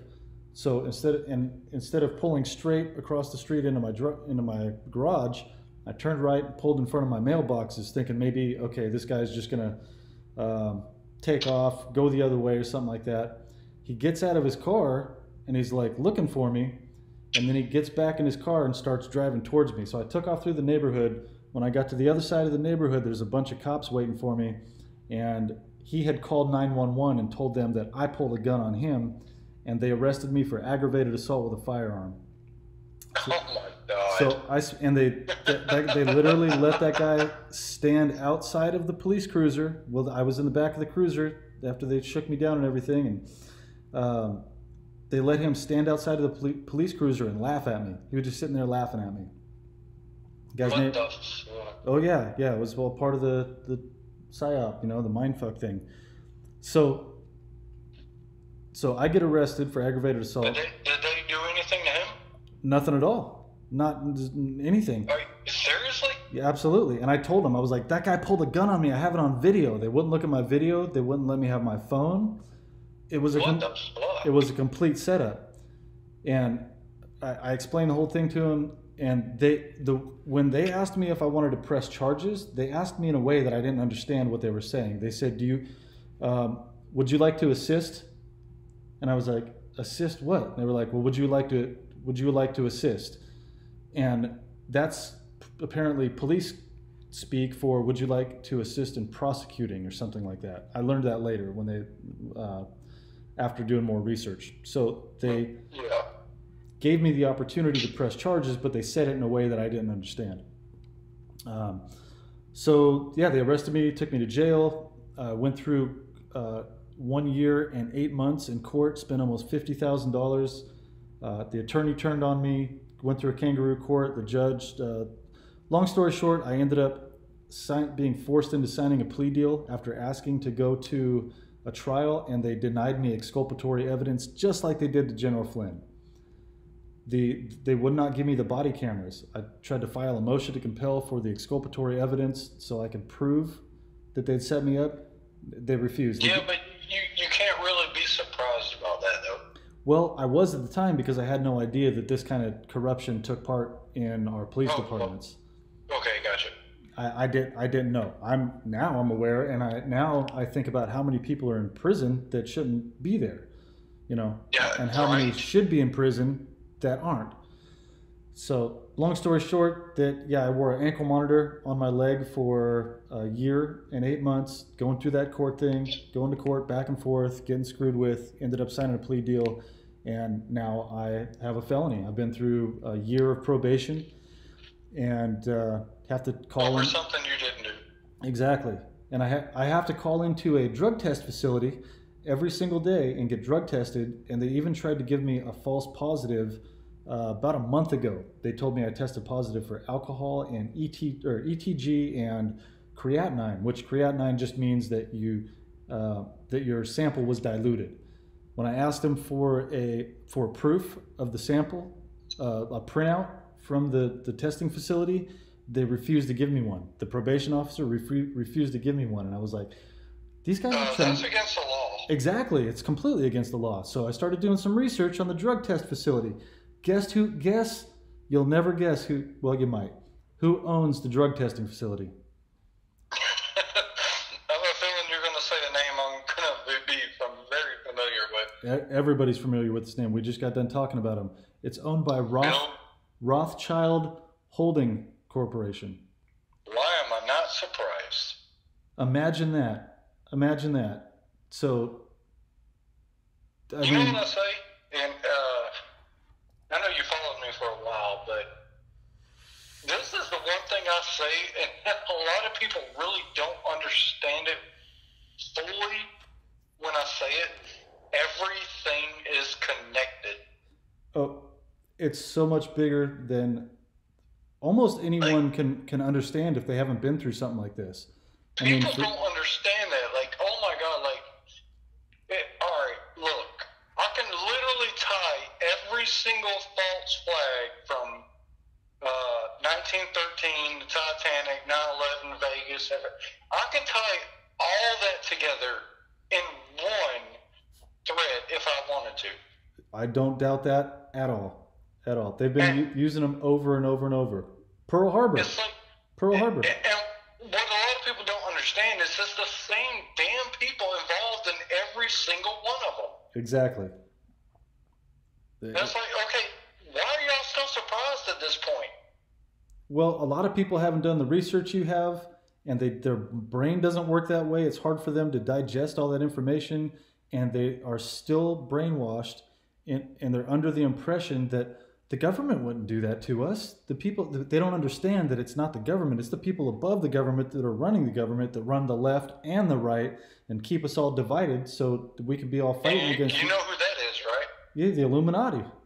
The Illuminati. There you go. Ding, ding, ding. Exactly. Yeah, yeah. That's so it's divide and conquer. You know that. been preaching about for the entire past year with my Twitter account? Yeah, you know that. The Illuminati. You know that. I know that. Um, I actually, And when I and, when I say that, it's like, oh, you're, the Illuminati, you're a conspiracy theorist. I'm like, really? You don't think that there's someone above pulling the strings for everybody? yeah, yeah. When somebody tries to tell me that, I refer them to Kevin Shipp's video talking about the deep state and the shadow government, because that that's a little easier easier for them to understand. Um, but yet they just don't. They don't. A lot of people I don't think have had the experience um, in different maybe different jobs, different life experiences, understanding compartmentalization and how that works. Well, it goes back to that, uh, what is that, uh, Democratic, uh, senator that called for places being burned down that, like, condoned it in Seattle, but when it came to their house, Oh, they were all against it. They were like, Yeah. oh my God, cops. Yep, they were like, burn it to the ground. And then when it came to their neighborhood, they're like, wait a minute, no, well, hold on a second. Yeah, there was a NBA, NBA basketball player that did the same thing. Yeah, I, I forgot who it was, but it's like that's literally what you're doing. You you think you're creating an army? What you're doing is you're creating a I don't know what the word is other than just stupid ass individuals that are gonna like cause chaos and they're not on your side. Yeah, You pay them, they get their paycheck, and guess what? They don't care afterwards. They're gonna like destroy everything in their path. You paid them, Yep. and guess what? Uh, they're not your friend. No, no, they're they're all it's um, like survival of the fittest out there for them. They just and they'll they'll throw anybody under the bus. They have no integrity. It's all about the money. Uh, Rob from uh, Edge of Wonder, at which oh hey here's a good segue. Uh, everybody, the Punisher is going to be on Edge of Wonder tomorrow, so make sure you tune into Edge of Wonder and check that out. He's going to be talking to them. Oh, th- th- those are my main guys. Yes. Yep. I've been with them for a while. Like I love Edge of Wonder. Yep. But uh, They, Rob, t- they, they, they took me under the wing, and uh, God, I'll be with them till pretty much I die. Well, that's that's good. There's some good people. Rob, that's what made me think of what you were talking about. Rob called them uh, rent-a-thugs, or did or did no no Jordan Sather did. He he called them uh, rent-a-thugs, and Rob, Rob was talking about it. I think on one of his shows yesterday or the day before. But uh, they are they're rented. Whoever pays them, that's they'll, they'll do whatever somebody pays them to do. That's the, Well, it's people. like I said, like it, it, it aggravates me because it's taken so long to get this Soros thread out because of how much information I have. But I have 100% proof that George Soros is behind everything. And when I say everything, I'm not talking about Antifa, BLM. hmm I mean in the entire insurgency of governments of countries. Yes. Oh, yeah. He's he's taken down countries, and he's it, he's that that's like I, I was saying. I was I've been trying to tell people that he infiltrated our intel agencies, the FBI, the you know Department of Homeland Security, the FBI, put in this Stasi type policing system that is. He's basically paying for both sides for the, the police procedures to um, Well, uh, hey, l- let me go back one second. sure You said paying for both sides. Who's done that? ex- the, the Illuminati, the the Freemasons. The Rothschilds. Rothschilds. Paying for what? All wars on both sides. Always throughout history. Yeah, Yes. for a long time. Yep. And and uh, what, what did Trump say? Uh, history repeats itself. Uh, hello. Yeah. History always repeats itself, and that's why uh, even if there's n- negative history, like on eBay, uh, you you're not allowed to buy any Nazi memorabilia. And not, I mean, I'm one of the most anti-Nazi people that you you could would ever meet, but I still think that that stuff should be able to be sold because it's part of history, and people need to learn about history. So if somebody wanted to put like a museum together to show people what the Nazis did, they need to be able to have access to that stuff. So if you just wipe that history off the face of the planet, nobody will ever understand what happened and then be educated enough to not let it happen again.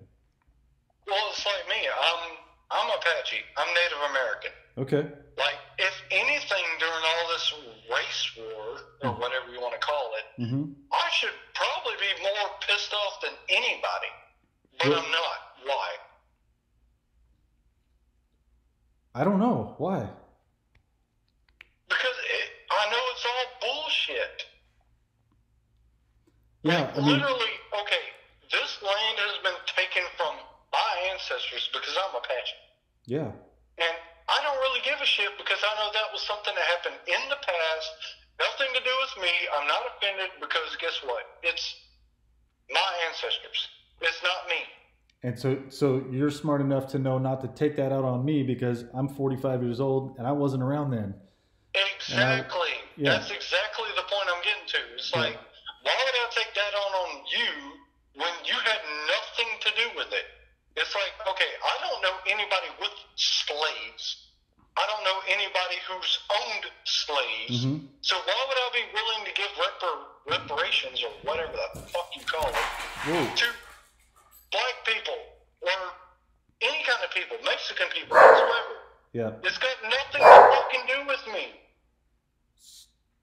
you're exactly right, and that's we all need to to realize that. Sorry, my dog's barking. There's people setting off fireworks outside. Uh, stop it. Willie, come here, buddy. Come here. It's all right. He doesn't like the fireworks. So yeah, Arizona they they have fireworks uh, sh- shops set up on every corner right now, and they've been setting them off for almost two weeks now. So No, that's good. yeah. Well, hey, That, that, that's just my biggest message. Just like, okay, well, y'all want to talk about race. Like, if anything, my race should have more to be upset about than anyone. that was one of the biggest But we don't say a damn thing, and you're like, okay, one criminal Hold, on, Wait. hold on, hold on. Hold on, we got chaos. Okay, we completely missed that last 20 seconds because Willis is over here going nuts. Hey, hey, it's all right. Sorry, man. He's he's losing his shit. Hold on one second. Hold on. And the people that have been fucking with me for years. Uh, it's kind of long story short. I came home and his leg was broken. Oh God, no, no. Yeah, That, So, uh, I, I can't. they can- they can- sorry, I can't take stuff like that. they can completely they dislocated his back leg and i got home and his leg was all crooked the people that do this can, shit Can I say it a, a little bit mildly? Uh, if you mess with an animal, I'm sorry, I'll defend them. that that's that's more youtube friendly but i Okay. I uh i completely understand what you're saying man people are are cowards and so that's one of the things that that being a targeted individual they attack everything in your life they go after your pets your kids everything that you have worked for in your life they destroy everything slowly Well, well, well, here's the thing. What makes them do that? That's my thing. They well, one they're socio sociopath or psychopaths. Actual demonic possession? I you know it could be both. It could be both because some of the stuff these people do are pretty. It's pretty damn demonic. Um, Well, that's what I'm getting at. Is like it, it it's kind of getting beyond somebody brainwashing at this point. Like it, it's getting to the point where it's like, okay, you're you're damn near literally just possessed. somebody told me that when they break into your house and they steal items that you care about, that they use those in their satanic rituals. So like. Um, I had my old jacket from the fire department. It had the uh, you know the Air National Guard fire department logo, and then I had my name embroidered into it, Barden underneath. And I loved that jacket. I wore it all the time. You know, I'm proud. I'm, I've had the same thing happen to me. and they stole it from me, and they knew that that was like one of the things that I really liked that I, I wanted to hold on to. They saw me wearing it all the time, and they they stole it. And when I was I was telling somebody about that, my my old friend Desiree, actually my ex girlfriend Desiree, who she she's actually been on Edge of Wonder. She's the she's the targeted individual that's been on Edge of Wonder uh, that they interviewed. Uh, Oh, I know her. yeah, she's my ex girlfriend. She lives about Oh twenty. my god, dude, Yeah. dude, I know. Oh my god, I know her. Small world, huh? A very freaking small world. Yeah. Yeah. I mean, Yeah, man, we used to. She she's so she's gone through very similar things to what I've gone through, and we used to spend a lot of time together talking about it, swapping stories. You know, um, yeah, yeah. That was before she was even on Edge of Wonder. We were still dating, and um, watching. You know, all, like Edge of Wonder stuff, and um, she goes, "Yeah, I know those guys. Uh, went to." This diff- this seminar, or uh, she went to a thing in Hawaii and met Ben and Rob, and then uh, went to another thing. Well, she was there with uh, Jordan Sather, too. Correct. Yep. Yep. Yeah. So she was there during that thing, and Corey Goode and all those guys. I, I remember. Yeah.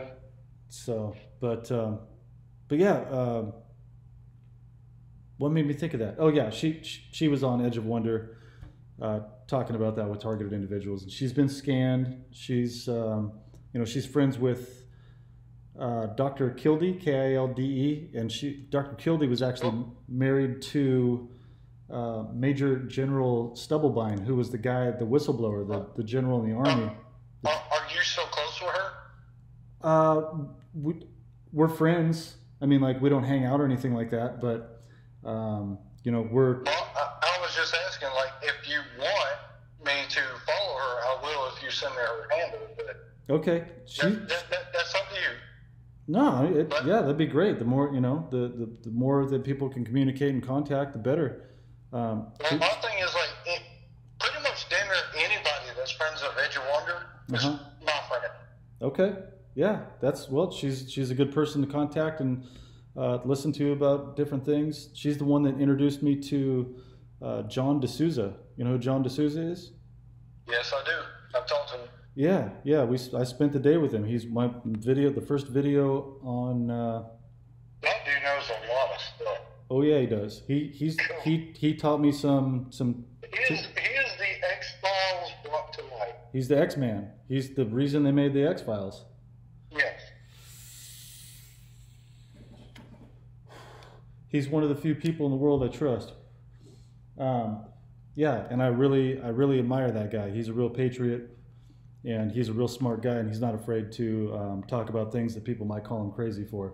But he's got proof. Th- th- th- there was a lot of things I used to think he was crazy for until I looked into it and I'm like, dude, this Yeah. guy's not crazy. Yep. Yeah, he's been there and he's done that. He's seen a lot. I mean, he was one of the investigators at 9/11, and he talks about it. He says we didn't find any airplane parts. There were zero airplane parts. How does that happen? Yeah, when, And- he, uh, when he got into the uh, the removal of the evidence of 9/11, I was like, hold on, I thought I was the only one talking about this, and this dude's like going in detail about it. Yeah, and he and he was there. so I mean, it's not like he just researched it. He was there. He testified in federal court. Um, uh, Well, don't you did- think it's like kind of suspicious that all the the steel, which had evidence, that was sent to China to get melted down? uh, yeah, I mean, come on, I mean, yeah, like, come on. come on, Yep. like seriously. Oh, there's If there's people, if people don't see that and think, okay, something's going on, uh, sorry, there's no hope for you. yeah yeah there's. I mean, we could go. We could do four or five hours. We could do two weeks straight just talking about 9/11 and all the um, inconsistencies Oh, yeah. and um, all the uh, testimony and everything. Study 9 11, 20 years. So, Yeah. Yep. You you. try to tell me something I don't know. I, I probably can't. That's probably not not possible. Well, as far as the targeted individual thing, I could probably teach you a couple things that you, you haven't learned about. But as far as 9/11, you probably know for sure know more about it than I do. Um, but uh, well, shoot, man. Let's see. I think I think we're at like an hour and a half or so here, and I and I know a lot of people won't spend that much time listening to um, to a YouTube video that's that long. Is there anything else that we can that we can go over, or anything that you wanted to, to say before we? Yes, th- there is one thing. Okay. Um, I want your your thoughts on why Space Force or SpaceX, whatever you want to call it, why did they fake the launch? Which the SpaceX launch, the recent one? Yes, yes. I don't know enough about that to even comment on it. I've researched it enough. It's obviously faked. Really? The, my question is why? Huh. Well, I have no idea, man. I have no clue. I haven't researched anything about the, the SpaceX thing. Um, Okay, okay, did you see the mouse? the mouse? Yeah, the mouse that was actually on the outside of the space shuttle as it was in space, going like, what, 200,000 miles an hour? This is news to me. I had no idea that anything like that happened. Yes, it happened. Dude. Uh, like I said, I'll research everything. maybe it's just another part of the big show. Maybe maybe we live under a firmament and uh, Well, I, I know for certain, I mean, I know for absolute certain, and anybody listening, you know what, think what you want, I don't care. But we did not go to the moon. My thing is, SpaceX was kind of like under Trump. So if we fake that, what is that saying? Like, what is the purpose? I don't get it. I, I don't either, man. Uh, that's a really good question. Um, I'm I'm not sure. So the, Elon Musk supposedly is putting. I, I do not trust him. I don't. I don't know what to think about him. I, I have I don't know what to think about him. But anybody that made it that uh, that high up, that made that much money uh, during the last several decades, it doesn't seem like they would allow anyone to to do that well that wasn't connected to the cabal somehow.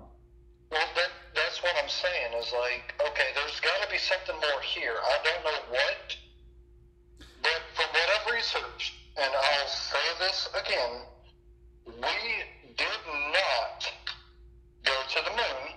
For one, for two, SpaceX uh, launch that just happened. What? What was that? A week ago? Something like that. I do not believe that happened. Hmm. I don't even have an opinion on it. I mean, I- if you look at the shadows on the freaking ground of the show, if you look at the freaking mouse video, like there's so much bullshit. Like, no, this this didn't happen. and that that's supposed to be under Trump. Trump is part part of. Well, that's what I'm saying. Like, is is he playing along with it for a reason, I- or That's one thing that I do definitely think that Trump has to play along in certain situations, and his IQ is so high. His his IQ is 156, so he he he knows how to play the long game. And I think if he didn't pretend like he was playing along with some of these people, that they would go after him even worse than they already are. So he probably has to pretend like he's going along with certain people and then maybe flip it up later. I don't know that. I hope I hope that is the scenario because there's a couple other things. Because I, I love President Trump. I think he's the greatest president we've ever had. But there's a couple things. no, That, no, he is, and I'm not doubting him at all. My my thing is, I'm just asking questions because. me too. There- just- there's a few things he's done that, that I'm like, wait, why? What's going on here? Why why does this not seem right to Well, me? it,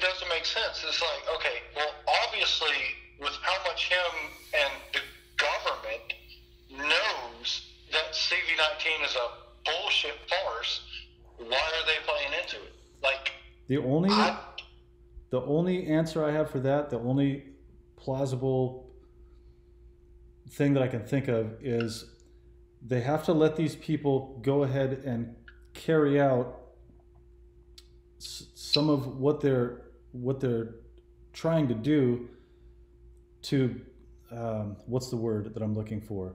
To incriminate themselves. Basically to prove that they were doing a lot of this stuff and then they, they can actually I, I but Mhm. like at the same time, like, at how many lives will it cost to do that? Completely agree. Completely agree. Because I'm I'm there right now, man. This like I, I told you, um, I'm hurting. And I, I, I know a lot of people watching are be like, well, Punisher, you're, you're, you're against Q, you're a shill, you're against the plan. No, I'm thinking logically, which is exactly what Q told us to do. exactly. And I'm, I'm sorry, I've been doing it for, for 20 years. Uh, Q's been doing it for three, so shut up. Q said to question everything, and that includes Q. And they also Yeah. said that dis- And I will question there. I'll question Q, I'll question POTUS, I'll question anybody and everybody because that's what I've done since day one. Well, that's what And we're that's the supposed. reason I've been red pilled pretty much longer than damn near everybody I know. That's what we're supposed to do. We're supposed to question everything, and if it doesn't if it doesn't work out, um, you know, if it doesn't make sense, then that's stuff we need to talk about. And if it's something that we're not, if, if it's something we're being fooled into, then we can figure it out. And and if you know, like they say, future proves past. If it's something that turns out to be a good thing in the long run, and they were like, okay, well, we had to do this because of this, then that'll make sense. But we definitely need to keep questioning. You know, I listened to Amazing Polly. Do you know who that is? Yes. So I listened to a lot of her stuff, and she was questioning a couple of things that Trump did, and she wasn't saying he's a bad president or um, anything like that. And she also said, you know, I'm getting tired of trusting the plan. This is taking so long. Uh, what's going on? And people automatically just went after her, uh, saying, "You're a shill. You're this. You're that." And you know, I really don't believe in my heart that she is. I think she's a an honest, goodness, true, good soul, and she's just. I, I, I can give you another prime example is Shauna SGT report. mm-hmm. He's catched absolute hell because he dared to question the plan. And it's like, okay, well, he questioned the plan. That's all he did. That doesn't mean he's a shill or a traitor or a, a troll or whatever you want to call it. Yep. He just simply said, "Look, okay, things ain't working out. Like he questioned the plan. Uh-huh. It's okay to question things, and that's what a lot of people in this movement don't understand. Yep. It's like it's okay to question things. That's exactly what you're supposed to do. Yeah, yeah. And and if anybody uh, like like we just got done talking about too, if anybody says anything different than that, say go back to Q post whatever it was, or, or several times when Q says question everything, everything that doesn't. And uh, I have. ex- and, and I've even questioned POTUS, I've questioned Q, and you know what? It doesn't hurt my feelings because, like I said, I've questioned everything since damn near the day I, I can remember. yeah, When I was back in school looking outside the window, when everyone else is sticking their face in a book. yep, Because guess what? I always thought there was something different out there. And I'm not going to let one person, one movement, one being tell me, okay, this is how it's going to be. yeah, What no- I'm going to do is research for myself, question myself, and if something doesn't fit, I'm going to call it out. I don't care who yeah. it is. And ask for- if you want to unfollow me for that, guess what? Do it. I don't care. Yep, yep. That's that's uh, well. Th- there's a there's a term for you in, for you and I and other people like that in actually in army uh, documents and the ones that uh, old army documents that that talk about re-education camps and they talk about us and they call us empowered individuals and they say empowered individuals we need to be re-educated and that's part of what a lot of I'm this very well familiar with that. Yes. yeah, Okay. So, you know, but that's good, man. That's uh, don't ever change. Stay that way. I, I'm not No, gonna. no. I'm not gonna change like, either. Thing is, I, I want everyone to like think for themselves. Like, okay, I get the Q movement is good. I'm part of it. Yes, that's fine. I'm not saying anything bad about it. So if you think I'm going against it, you're not listening. My thing is think for yourself. Yep. If things don't make sense, it's okay to question them.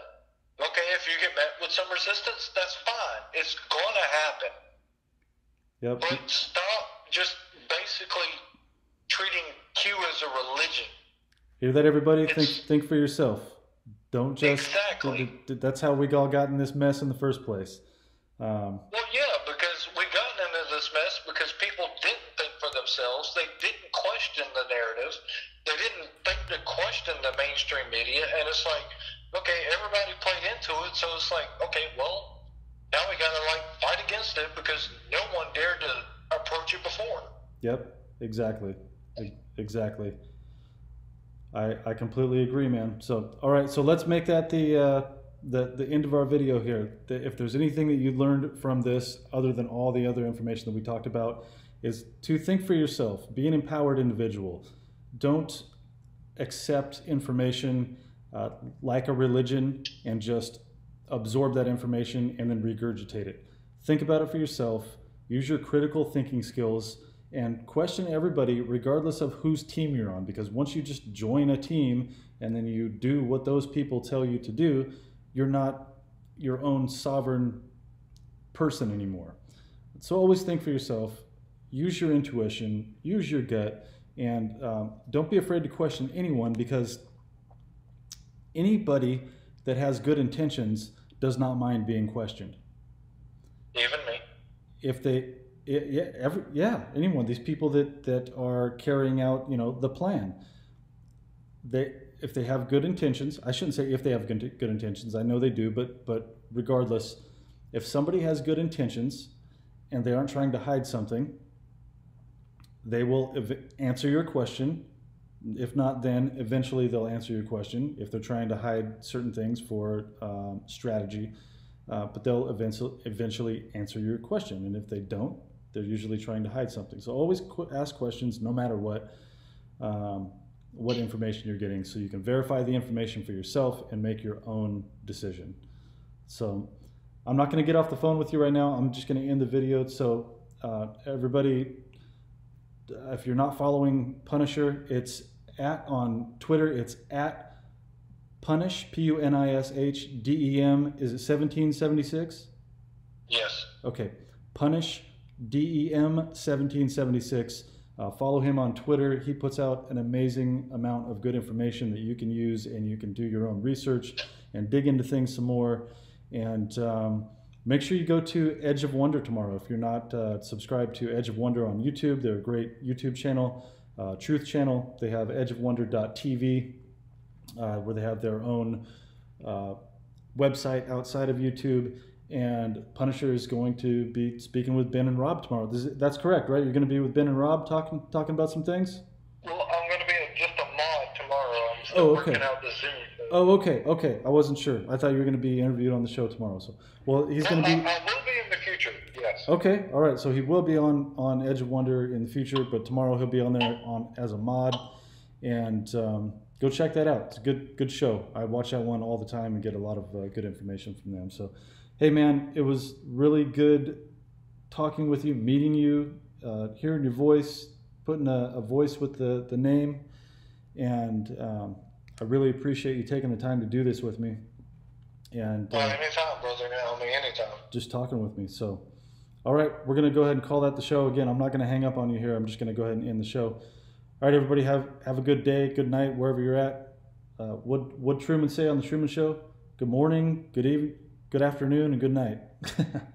so, all right, see you all later.